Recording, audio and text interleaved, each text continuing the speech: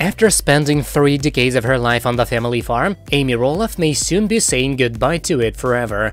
On Tuesday's upcoming episode of Little People Big World, Amy contemplates accepting her ex-husband Matt Roloff's offer to completely buy her out from the farm, which she moved away from in early 2020.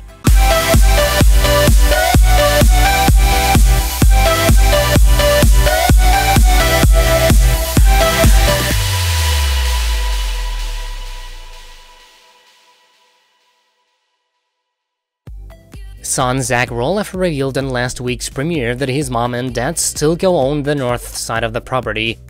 Matt approached me on this second time to buy me out, and this was definitely a better time because now that I'm in my new house, there's not as much gray area anymore. It's like this was this chapter. I have no part in the farm with this chapter. It's changed. Amy, 56, tells cameras.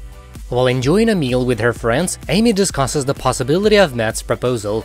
Now we'll see what this proposal ends up doing, but you know, I'm okay, she says. I got sad and emotional and fried, you know, in the beginning because I thought, man, this farm was 30 years of my life, that's pretty much half my life. Taking over the process of a divorce and the emotions that arise from it, one in particular resonates with Amy. Especially fear, cause, you know, like, what do I do now? She tells her pulse. So much of that was a part of my life is now gone.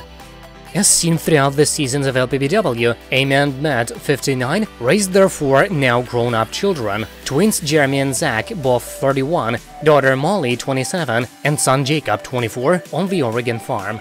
The former couple divorced in 2016.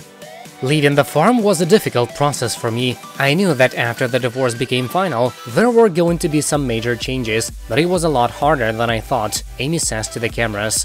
But now that she is living off of the farm and settling into her own space with fiancé Chris Marek, Amy seems more open to the offer. Now that I'm in my own place and I'm off the farm, I think making the decision of a buyout has been easier because I don't have as many emotions tied to it, she says. Ultimately, I just really want to make sure I'm making the right decision for me and that I'm happy about it in the end. That's it for now, thank you for watching, please subscribe to stay tuned.